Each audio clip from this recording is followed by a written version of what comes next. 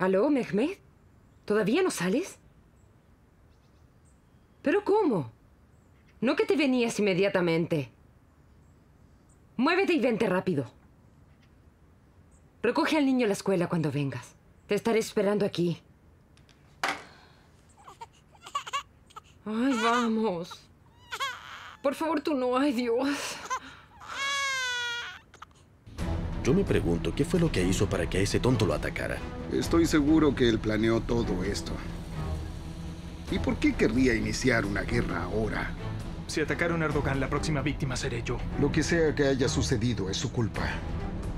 Quisiera decir que sabía lo que pasaría, pero no puedo. De todas formas, últimamente ha estado actuando errático. ¿En cuántos problemas se ha metido hasta ahora? Si pudiéramos hacer que se hiciera responsable, estoy seguro que nada de esto estaría sucediendo. ¿Qué estás mirando? Mi hijo es la víctima. Como sea, no es un momento apropiado para hablar de eso. No sabemos lo que nos espera en el hospital. Yo solo espero que no esté tan mal. Se nos olvidó avisarle a Gilmille. Yo lo haré, no te preocupes. Pero, ¿cómo le diremos esto? No es una sentencia de muerte, Munir. No hagas un drama de esto, solo dile.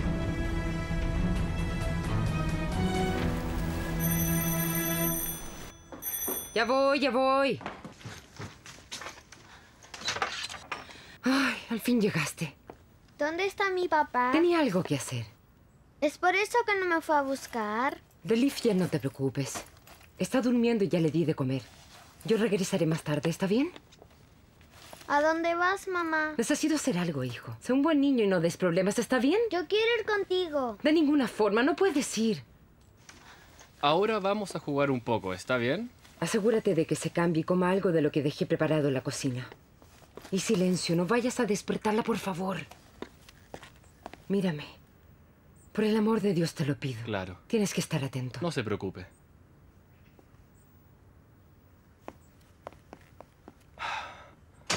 Bueno, lo primero que vamos a hacer es lavarte la cara. ¡Vamos!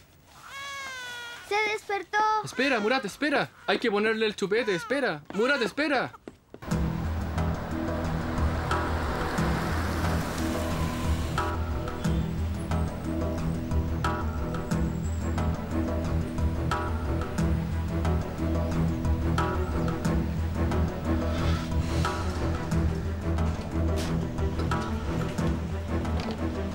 Dime, ¿dónde está? Está con los médicos.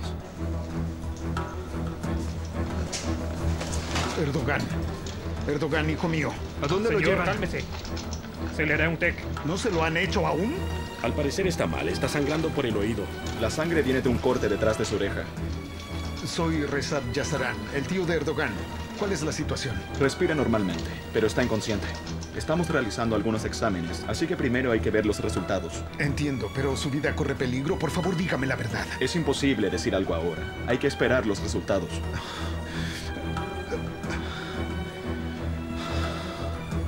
¿En dónde lo escuchaste? ¿Cómo supiste de eso? Estábamos juntos. Yo estaba en el auto esperando, lejos. Me preocupé cuando él no regresó. Fui a ver y él ya estaba en la ambulancia. Y luego la seguí hasta acá. ¿Dónde está Rami Ketensi? Se lo llevaron a la comisaría. Rezat. Ellos se llevaron a Rami a la comisaría. Déjame preguntar a la policía a qué estación se lo llevaron. Claro, anda. De todas formas, no hay nada que podamos hacer. Sí, sí, anda. Si tienes noticias, me llamas, ¿está bien? Está bien, lo haremos.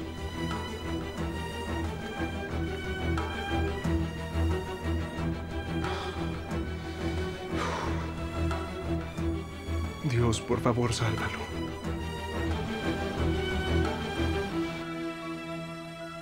Bueno, cuénteme. Mi esposa tiene un bebé. Yo estaba con ella. Y es por eso que no pude ir con mi hermana Fatmagul al doctor. Usted ya me dijo eso. Dígame cómo ocurrió el incidente.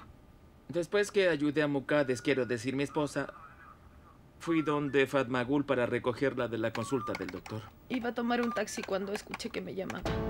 Yo estaba cerca. Estaba cerca cuando vi que él la agarró muy fuerte. La sujetó del brazo. No podía moverme, estaba muerta de miedo. Maldito imbécil. No es la primera vez que nos pone en una situación así. Guarde silencio, por favor. Le estamos preguntando a su esposa. Dígame, señora. Entonces él corrió hacia mí y yo me puse a gritar. Pero él me sujetó del brazo. Mi hermana estaba gritando, pidiendo ayuda y gritaba por ayuda. ¿Sí? Oh, al fin. Buenas tardes. Adelante. Soy Yomerakai. Represento a la familia. Nuestro abogado. Nuestro propio abogado, buen amigo de Kadir, el abogado de Homer. Homer, yo protegí a mi hermana, a mi hermana. Bien, amigo. ¿Cómo la protegiste? Cuéntame eso. Lo golpeé con la pala. Con la pala lo golpeé así, fuerte, fuerte. Rami, por favor, cállate. ¿Así que en la cabeza? ¿Cuántas veces? Lo golpeé una vez, después otra. Él cayó después de eso, no recuerdo. Rami, ya basta. Quería que se quedara en el suelo, no quería que se levantara. ¿Hay algo más que me quieran decir? Bueno, no, pero creemos que... No manejamos más detalles. Continúa. Yo la protegí de ese hombre. Fue en defensa propia, fue en defensa propia. ¿Así que sabes sobre la defensa propia? Lo sé, claro que lo sé. Escúcheme bien. Su hermana no tiene señales de golpes. Y usted vino desde atrás a atacar al hombre. Eso no es defensa propia. Lo golpeé desde atrás. Más de una vez. Posiblemente más, no lo sé. No lo recuerdo, la verdad no recuerdo más. Pero le pegué para salvar a Fatmagul. Bien, es suficiente. Me gustaría hablar con mi cliente a solas para que me pueda contar la historia. Claro que sí, seguro. Iba a recoger a Fatmagul del doctor. Espera un minuto, Rami. Eh, ¿Dónde podríamos hablar a solas? Pueden hablar aquí. Señora. Ah, ah, discúlpeme. ¿Ya aterrizaste? Sí, acabamos de aterrizar. En este momento vamos camino al centro. ¡Qué alegría! ¿Aló? Sí, escucho, te escucho. Evitemos ver a Mine si Oh, es ¿Tú posible. me llamaste? Te estaba llamando porque Te debería dar vergüenza. solo sentíamos curiosidad. Nos preguntábamos si habías tenido un buen viaje. Muy confortable. Esto es hermoso, el clima perfecto. En realidad está lloviendo, pero ya sabes cómo es Antalya. No te preocupes. Ah, mis amigos y yo disfrutaremos aquí. Ah, qué bueno. Ojalá lo disfruten mucho. No, gracias a ti, Evenain. ¿Y tú estás haciendo lo ¿Es esa Benign? Regresaremos mañana en la tarde. ¿Necesitas algo de aquí? No, muchas gracias. Bien, entonces nos vemos mañana. Adiós. Adiós.